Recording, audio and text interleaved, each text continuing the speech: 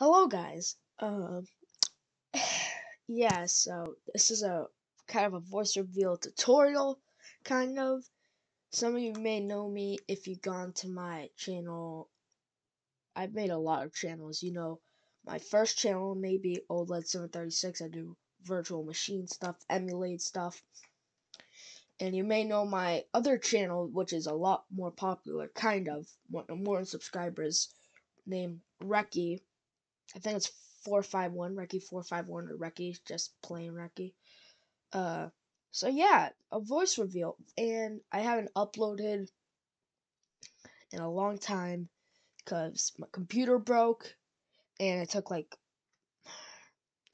a long time for it to fix. That's why I haven't uploaded in nine months.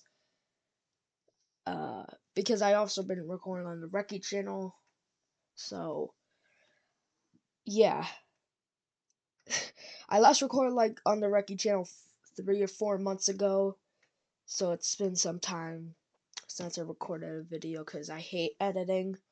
So yeah, it's just a little video. yeah, so it's just a video.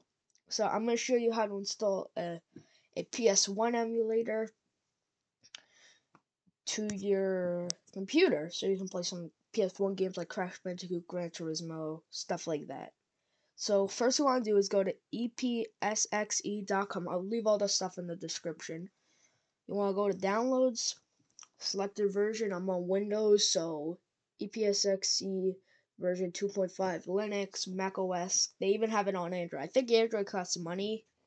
Pretty sure. I don't know, but you just want to press this. Now, if if it doesn't work for you like that, this is what you have to do. You have to right click, inspect, now you'll see this www.epsxe.com slash files epsxe205.zip. In fact, I'll just leave this right here in the description, so don't go to this website. I'll just leave the version. Or if uh, there's a new version out, then go to the website. I'll leave both of them in the description. So you just want to click this. Now then you can um put it wherever you want. So you press save, boom. Now we have that. And the thing you'll need to extract it is uh, a WinRAR or 7-zip. I use WinRAR personally. So you just press download WinRAR. I'm not going to install it. Just press download WinRAR. You get the point. And then you just go through the setup. And then if you have a 32-bit version, of Windows. Most of you won't, but if you do, press that and then install it. So then you have that. And then you're gonna need the BIOS for the emulator. So yo, I made this uh, zip folder for from Google Drive, scph1001.bin. It's gonna be the BIOS folder. So yeah, that's what you do. So you just want to press this little button, download save it over here. I already have one, so I'm not going to install it. It's right there, you see it? So I'm not going to install it, but you you get it. And then you want to extract it. So you go to your downloads. Sorry, I just installed OBS on the computer. I'm just going to delete that. So you want to extract both of them. So you just extract to EPSXE 205 and extract to SPH1001. And then you have both of these folders, so I recommend opening a new downloads tab for this. So you could drag the, the BIOS into the folder. So you're going to have this folder, and what you want to do is you want to take your BIOS, SCPH1001, you want to double click it, and then you'll see the file. Then you want to go into the BIOS folder in EPSXE, and then you want to delete the erase me file, and then you want to drag the SCPH1001 into the folder. So you could just, honestly, you can just delete, you can just delete this. Or uh, you don't even have to extract it. You could just go through here and put it in there like that. So yeah. And then you're gonna have your you have your BIOS in, so you're gonna press epsxe.exe. You're gonna have it. You're gonna have everything here. So first, we're gonna um configure our our controller. I'm using an Xbox controller. You can use a PS1 adapter, PS2, PS3, PS4, PS5, Xbox controller. I don't care. Whatever whatever you want really. So you go to gamepads, port 1, pad 1. And now I already have this set up, but usually it's to look like it's to look like this. It's to look like this.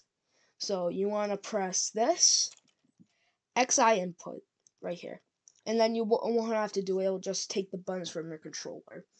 So then, press OK. You already have that set up. Now go to um video. Now I think it already saved it from my last one, so you can do full screen.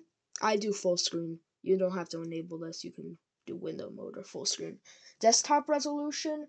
Mine's 1920 by 1080, but select whatever resolution your monitor is or desktop resolution.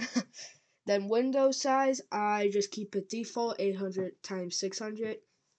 Internal resolution, I have usually it's going to be normal. I keep this as times 2. So it's normal resolution is normal. Resolution times 2 is in the middle. And resolution 4 is the last one. It's the slowest, kind of slow, and normal. So I keep that that. I keep that there. And then here, this should be default zero original brightness profile. Stretching mode, I keep mine um 4 by 3 because it gives you that look of the old game. You can do widescreen or stretch. I haven't tested both of those, so widescreen I know will make your game stretch out. So I don't know what stretch really does. OpenGL version 2, this should be automatically selected. Maybe if you have like not so good of a computer, try OpenGL version 1 if it's not working. Uh, threading mode, I think this is default one thread accurate. Show FPS display on startup, you can disable, you can uh, enable that. Use FPS limit, I have that enabled. Screen filtering enabled. VSync I have enabled. Overscan I have enabled, and I think in 32-bit color I have enabled. And then you can copy if if if your settings aren't like this, you can just copy it, pause the video like that. If you didn't, if you weren't listening, so you press OK. Now I think, oh, so you want to go to BIOS. Now you want to go where you put your BIOS. So you would select where you put your BIOS. So downloads. Mine's in the downloads folder, wherever your your emulator folder is. So you press this, BIOS, you select the BIOS, and boom, okay. And then you should be able to run a game now, I'm pretty sure. So you want to, yeah, you should be able to run a game. I'm pretty sure the memory card is normal because I got it when I was playing it, got a save. So you want to press run ISO or CD-ROM, I don't know. I only have one game because I I just watched this. I watched a video from Casual Gamer. That's what he said his name was. I'll I'll leave a link to his tutorial, which is probably gonna be way better than mine. But if you want to, you can stick around because it's just gonna do the same thing. so you want to press. Uh, where was it? Okay, so this is where my games are.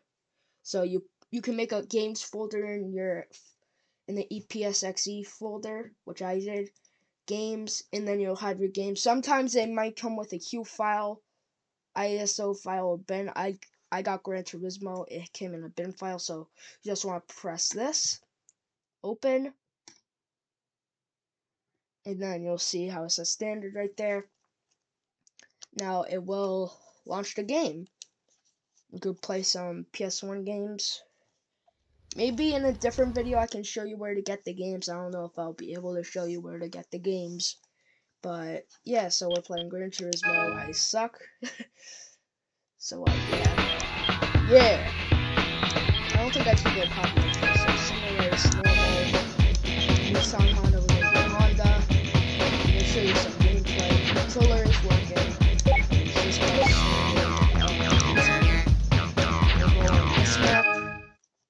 Why not? now, it may take some time for the game to load. Some games may not work, but I know Gran Turismo does. so, yeah, I speed in.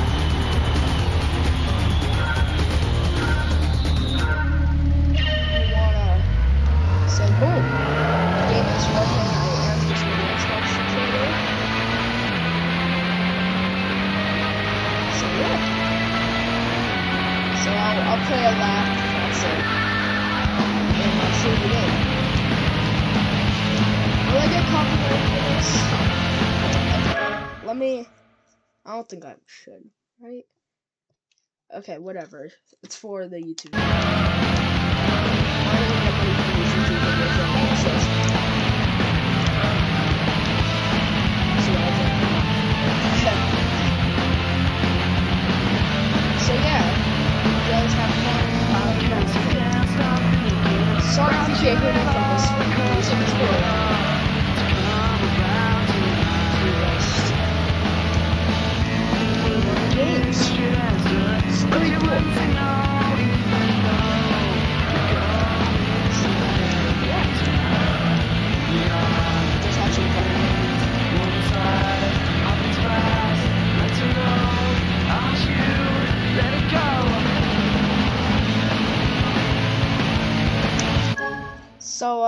Yeah, that's how you play your games on ESPX. I forget what it was called already, but that's how you play your games. And if you enjoyed the video, you don't have to subscribe. It, it'll really appreciate to me.